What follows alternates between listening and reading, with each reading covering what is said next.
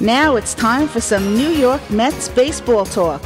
Here's Gary Mack bringing you the latest news and analysis from Mets Nation and the world of baseball on another edition of Mets Musings. And hello, and welcome to another edition of Mets Musings, episode number 155. And let me hit that there, and uh, we are good to go with another edition of Mets Musings. We had a guest. I tried to get a guest lined up for tonight, and never heard back. And I don't know what it is with these West Coast guys, but um, so it's just me tonight no guest, but we do have, well, I guess you could call it a guest. We have a voicemail from uh, my former co host, uh, Barry, and we're going to get to that right away because there's some things in there that uh, we like to address. But uh, just for a quick to do, uh, Mr. Brewtown was on Monday night. We talked about the Brewers Mets series, and as it stands right now, it's one game apiece in that series. And as I record this on Thursday night, the Mets are playing the Brewers. It is the top of the third inning, and they are down one nothing on a home run by Aramis Maria, Aramis Ramirez. Say that three times fast. And um, Jon Nieslow is pitching uh, very sharp tonight. Uh, just hit a batter, so there goes that that uh, idea, but uh, overall, he looks pretty good tonight. Uh, just made one bad pitch to Ramirez to uh, give up the home run. So, uh, without further ado, let's go right to the voicemail and get that on the air, and then uh, we'll be back in just a minute and to answer the voicemail. Hey Gary, it's Barry, your former partner, calling in first to thank you and the great Mike from San Fran for the birthday wishes and also to say how nice it was to hear the equally great Mr. Brewtown on episode 154. The three of you made me yearn for the old days when the four of us did our pre and post season predictions and when I was only celebrating my 29th birthday for the 29th time. However, Gary, I must take issue with some of what you said on 154, mainly that I take no blame whatsoever for the Mets' horrific signing of Chris Young. There was no reason to think that was a good acquisition looking at the numbers he posted during his career, playing mostly in a bandbox in Arizona. My take on the move Sandy made was that the Mets targeted 2014 as the year they would really turn the corner and become a legit playoff contenders, but the Matt Harvey injury totally blindsided them, and with no plan B in place, they all panic. You also wonder why they can't get out of their own way and always seem to not get the big hitter scoop on the bases, etc. And the answer is quite simple. They have an anemic offense, a below average defense, especially with Lagares out. And though the pitching is decent, overall they are just a bad team and have been a bad team basically since they moved to Citi Field in 2009. I also think that things will not change unless they do one or both of the following. Make drastic changes to the dimensions of Citi Field, especially in the power alleys, since the way the park is now, they will never be able to get a free agent power hitter to sign with them or trade one or more of their excess pitchers to acquire that power hitter. In this park, the Mets should be building the team around the pitching, defense, and speed, and especially when EY is out, there is no speed on this team. Right now, the Mets, if they are lucky, have at the most 10 players on their roster other teams would want, and two of those players, Wright and Murphy, have issues. Wright is clearly psyched out by Citi Field, while Murphy's defense has regressed this year. I wonder if the symposium he went to at the White House earlier this week was on new fathers suffering from male postpartum depression. Since the time his head clearly appears to be elsewhere. Also, there was a third choice as to whether you were a Davis or a Duda guy, and that third and my choice is neither. All this, and I have not even addressed the Mets' joke of an ownership, and there is not enough time to get into that now. And also, it has been said ad nauseum on many other Mets blogs, but I will cite an old proverb that says the fish stinks from the head down. For now, I will try to keep the faith, as hard as it is, especially knowing who owns this team. Keep smiling and look towards better things ahead, though probably not until 2015 when hopefully Harvey is back, Thor is in the starting rotation, and the impressive looking bullpen quartet of Familia, Mejia, Black, and Edgin have a little more experience. Thanks, Gary, for letting me have my turn to rant. And thank you, uh, uh, Barry, for uh, ranting. but let me answer a few things there. I, I may have uh, not explained it properly when I said that the fans are partially to blame for the free agent signings. I didn't mean they were to blame specifically for Chris Young. What I meant to say is that through the media, sports talk radio, social media, Twitter, Facebook, and uh, whatever else is out there, comments on blogs, that they put pressure on these teams. And it's it's no secret that most fans were screaming all winter to spend money to spend money. I do agree that the Harvey injury blindsided them, and I do believe, as you do, that they panicked and they made that signing of Chris Young. And I think partially uh, or or in a great deal because of the outrage of the fans and the need to spend money because the fans want them to spend money. So it's it's just from that angle that I think the fans need to take part of the responsibility too. And as I've said in the past, I've been through this many, many, many times. I can remember um, sitting in a ballpark and having guys behind me complain that. Uh, they never spend any money. And then that year they went out and spent money. Got Bonilla, got all of those guys that at one year when they spent all that money and the team stunk. And then the next year, these same guys are saying, why don't they play the young guys? They never play the young guys. They spend money, get all these bum free agents. Well, you can't have it both ways. You have to build with youth. You have to fill in with free agents. Look at the Yankees. Everybody say they bought the pennant. You know, but think about it. Think about it. They had that core. They had Bernie Williams homegrown. They had Mariano Rivera. They had Derek Jeter. They had uh, Jorge Posada. They had uh, I, I can't even remember now. And but they filled in with good, not great players, not great players. Scott Brosius, Aaron Boone. Uh, I can't think of the other guy now that I wanted to get to. And they made some good trades and brought in some guys. Yes, they brought in some pitches that they purchased. But that's when they were winning. And, and when they continued to win but didn't make the playoffs or lost in the playoffs was when they started bringing in all stars at every position and spending big money. Giambi here, A Rod. That's when they got themselves in trouble and they the core got old, and this is the situation they're in now. They spent a lot of money this winter, and they're still basically a, a cut above a 500 team. So I'm just saying, spending money isn't always the answer, but I think that's what it wasn't the ultimate decision, but it helped push them in that direction and that's that's what I meant to say.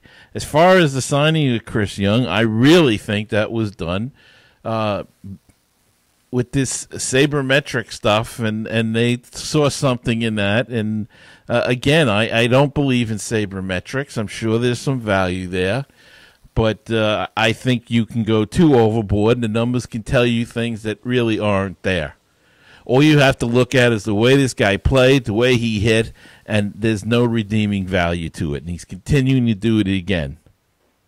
In fact, you can take this one step further. And did you notice how? Uh, uh, well, let's not even go there in this issue with the Ike Davis Lucas Duda thing because uh, uh, for those who care, Ike Davis is in a big slump and isn't hitting again, and they're starting to get hit on him in the Pittsburgh press. Uh, core is getting on Ike Davis now, and he's losing playing time to Gaby Sanchez. So uh, we won't even get into that in this episode. But what I was trying to say is that everybody deserves responsibility. That if the fans are going to yell and scream about spending money and they spend money on the wrong player, then you have to you have to look yourself in the mirror and say, well, you know, I want them to spend money. I, I, I can't complain about it. I don't know, still don't know if I'm explaining it properly, but that's the way I feel. It's my opinion, and uh, we're going to move on from there to one of our first stories, and that is that as of this past Tuesday, David Wright leads all National League third baseman in All Star game voting. The MLB announced on Monday evening. Wright has amassed 859,082 votes, nearly 100,000 votes more than the Rockies' Nolan Arenado at third base. So David Wright in first place in the voting for uh, All Star third baseman, and um, uh, that's a great thing. Let's let's get David. I know he's struggling a little bit now, but we want David. We want Mets on on the All Star team. I wish that Lagares wasn't hurt, so we could make more of an effort to get him on there.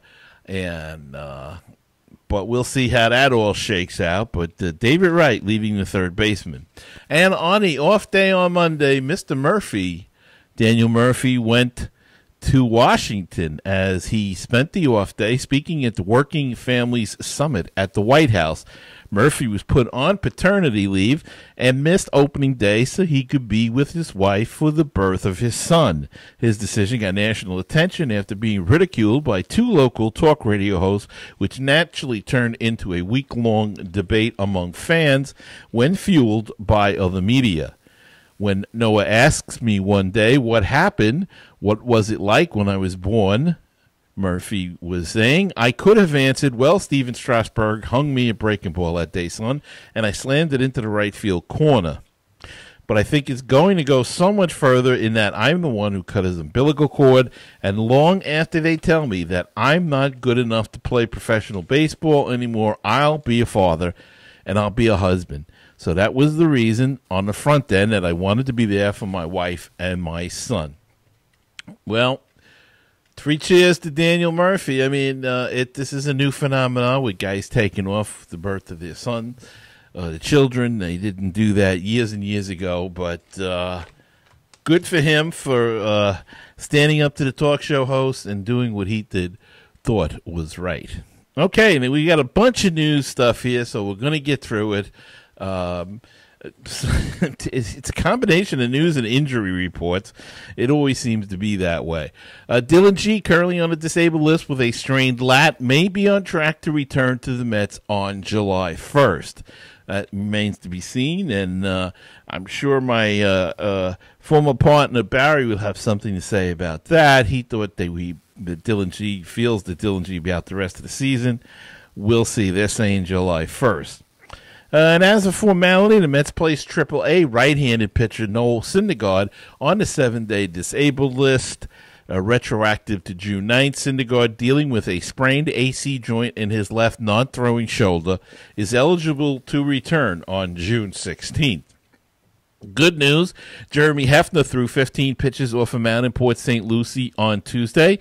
It was his first time on a mound since having Tommy John surgery last October. Hefner said he was throwing at 75% effort and it was easier than throwing on flat ground. Well, that's good news. Hefner coming along in his uh, Tommy John surgery rehab. And uh, on the other flip side, the Mets want Matt Harvey to wait at least 11 months after his Tommy John surgery before he pitches in a game for the Mets, which is standard protocol and a doctor recommended time frame. Sandy Alderson told reporters on Tuesday at Citi Field Harvey had his surgery on October 22, 2014, which leaves only the final week of September for him to pitch in a regular season big league game. Harvey said he wants to go into the offseason know, knowing he's capable of pitching in a game. The organizational's instructional league runs September into October, so there may be a chance for him to throw there. Harvey said he was caught off guard when the team stopped him Monday from throwing off the lope of a man. And I think the team is making the right decision here. They need to slow him down. Hefner had his surgery in August. He is on target Harvey waited longer, had his in October. So let's get him healed so he's not going through it again. Uh, the news is that Adam Wainwright may be going for a second one. Uh, don't know what that what came out of that uh, thing uh, today, but uh, he may have to go for another one. So don't rush it, Matt. Let's let's make sure that it's healed. When the doctors say there's no guarantee that he that it can't tear again, but at least let's do the best we can in getting that healed and getting in shape and getting back, hopefully healthy for 2015. That's the main concern. Okay, so let's see. The Mets have made a move following the win on Monday night. They sent Scott Rice down to AAA Las Vegas and activated righty reliever Gonzalez Germen off the disabled list. So a fresh arm in the bullpen and a uh, righty replacing a lefty, which leaves Dana Eveland and Josh Edgin as the lefties in the Mets bullpen. Uh, let's see what else is new here. Why don't we take a quick break and we'll come back with uh, some more news and notes and uh, a farm report, and we'll call it an evening. So uh, we'll be back after this message. Mets Musings is an unofficial, independent podcast covering New York's National League Baseball team. It is not affiliated in any way with Major League Baseball or the New York Mets.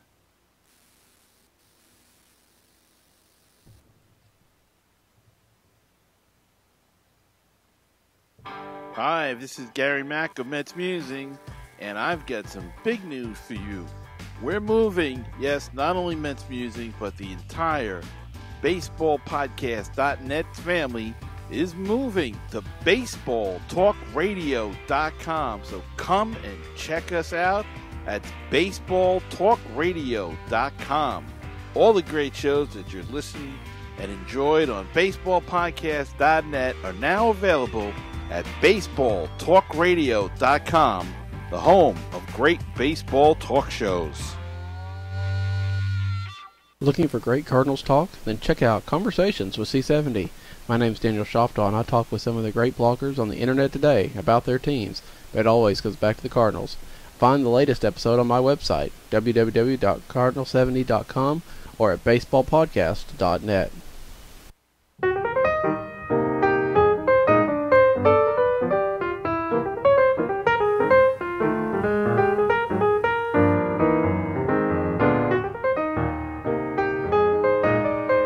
Five one six six one nine six three four one. That is the voicemail comment hotline where you can leave a voicemail like Barry did and be a part of the show.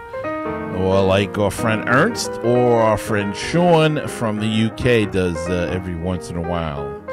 Hello, Sean. Just a shout out there to Sean. and don't forget, if you uh, like to uh, send an email, you can. It's metsmusings at gmail.com. And by the way, there is another way to uh, send a voicemail. You can go to the site, metsmusings.com, and there's a big, uh, big sign or a banner there that uh, directs you how to send a voicemail right through the website there. So uh, check that out, if you will. And the Twitter group I'd like you to follow me on is at metsmusings1. And the other group, the Facebook group, is Mets Musing. So go check us out there.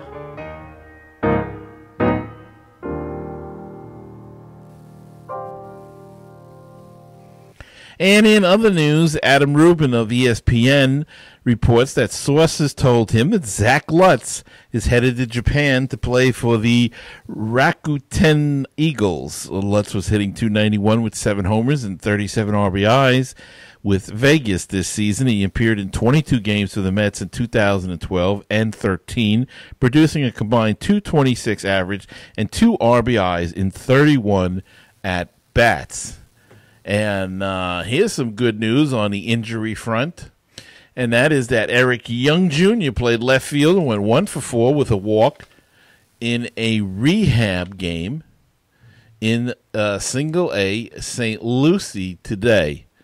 So uh, he is on the mend. And uh, on the flip side of that is that Curtis Granderson is not in the lineup tonight and he has a problem with a calf strain. That's what they're calling it, and it's day to day. And he figured he did not want to take a chance with that, and uh, decided to uh, sit out today. And I think it's a very smart move by uh, uh, Mr. Granderson to do that. And uh, let's uh, get him healthy. And Andrew Brown is in the game to replace him. Uh, Juan Lagares has not started really doing anything yet. And uh, he is going to be a while yet, I would imagine. And we really would like to get Juan back in the lineup because uh, he's a big help, and we really miss his defense out in uh, center field. And uh, in another uh, story, uh, in an interview, K Rod said that uh, he would never rule out coming back to pitch for the Mets someday. Of course, the Mets would want have to want him. Uh, you know, I don't know. He's he's having a great, terrific year, and think it would be uh, interesting to see if the Mets decided to bring him back. They tried to bring him back over the winter, but the uh, Brewers topped their salary offer, so he went to sign with the Brewers, one year contract, and he has 19 saves and a 2.08 ERA in 30 appearances with the Brewers this season. So K Rod not uh, not beyond coming back to the Mets. And apparently the Mets have tied the ball game at 1-1. So we are on a Bobby Abreu uh, hit. So they're tied in the fourth at 1-1. And all right, uh, we are going to take another quick break and be back with the uh, farm report. You know, it's getting exciting around here because uh, the Cyclones start their season tomorrow evening at those Staten Island Yankees, and it's going to be nothing like single A short season uh, exciting baseball in Brooklyn. So um, we'll talk a little bit more about that in just a minute. But uh, let's take a break and be back after this. Hi, this is the world famous Mr. Brewtown of BrewtownSports.podomatic.com. You know, you can find us on Facebook, Twitter, and Google Plus. Uh, Brewtown Sports. You can also listen to the show at Stitcher.com, TuneIn.com, and iTunes.com. And we've got the new one. It's called BrewtownRadio.weebly.com. But the one that I'm most proud of being on is BaseballPodcast.net. It is the home of great baseball talk shows. Check it out, my show and all kinds of other programs all about Major League Baseball. So check it out. That's baseballpodcast.net, the home for great baseball talk shows. Are you a fan of the NBA and Major League Baseball? Would you like a sports show dedicated primarily to just that? Plus, we throw in a little fantasy baseball and basketball just for good measure. Featuring credentialed sports journalists, the guys who sit on press row, we bring you the stories that you want to hear. To check us out, please visit us at philnasons.com or on Twitter at FlashTennis31. For all the listeners of Mets Musings, Audible is offering a free audiobook download with a free 14 day trial to give you a chance to check out their service. Over 75,000 titles to choose from in all different categories, including science fiction, mysteries, biographies, sports, computers, you name it, they have it to download. To download your free audiobook today, go to audiblepodcast.com slash metsmusings. Again, that's audiblepodcast.com slash metsmusings for your free audiobook.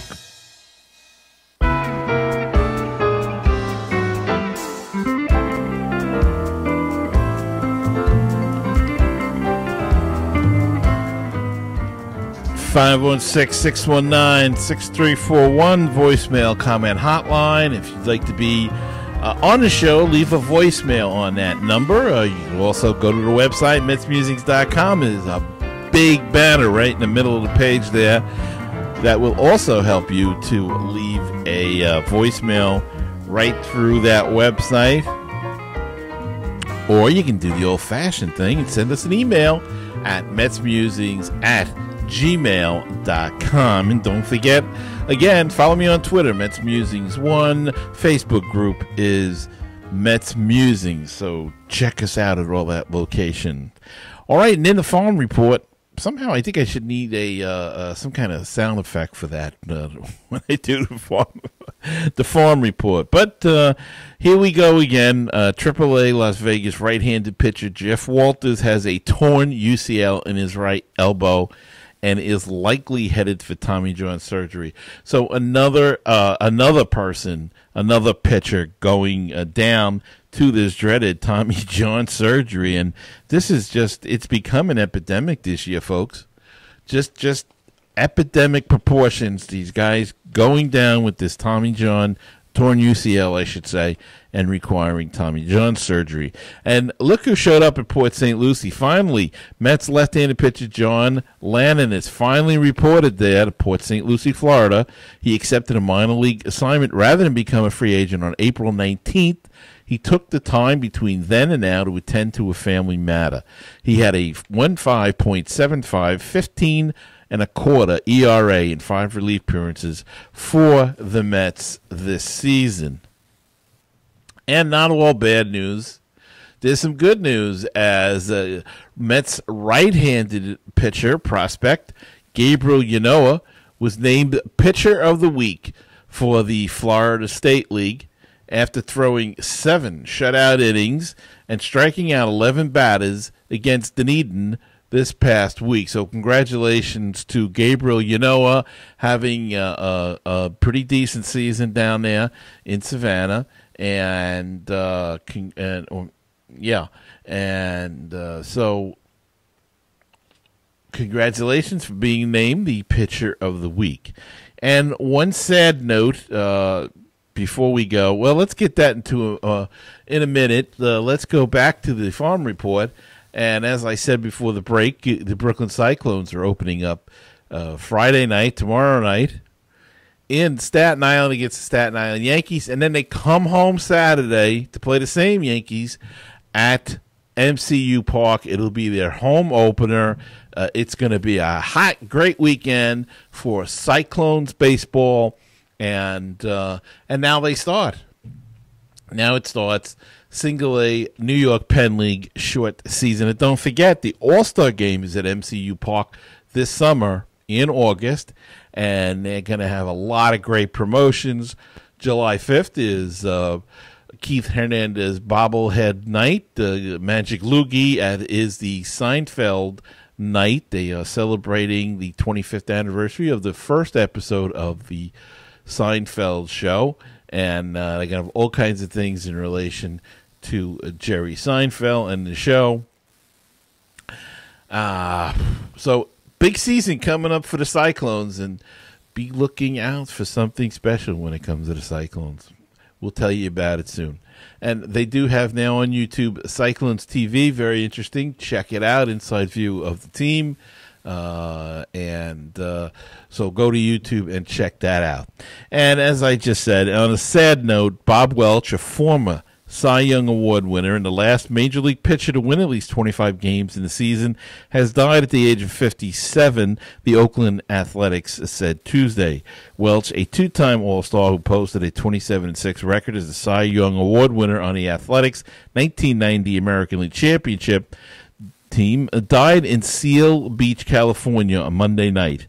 Cause of death was unavailable.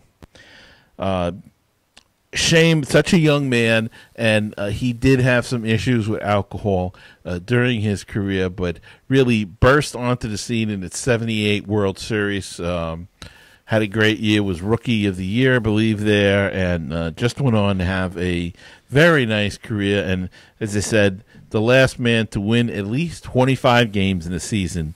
And so Bob Welch, former Cy Young Award winner, dead at the age of 57. And uh, that's about going to be the show tonight. Uh, the Mets uh, have some of their draft picks they've signed and uh, have assigned them to Brooklyn and to uh, other teams, Gulf Coast, of course. And the parent team, the Mets, uh, still in the fifth. They're 1 1, two outs in the top of the fifth with the Milwaukee Brewers. Let's hope we can score some runs and get a victory and take a series from from those Milwaukee Brewers. San Diego Padres come in for a big weekend series against the uh, the New York Mets. And then the Mets hit the road again as they go to St. Louis for three and four to Miami.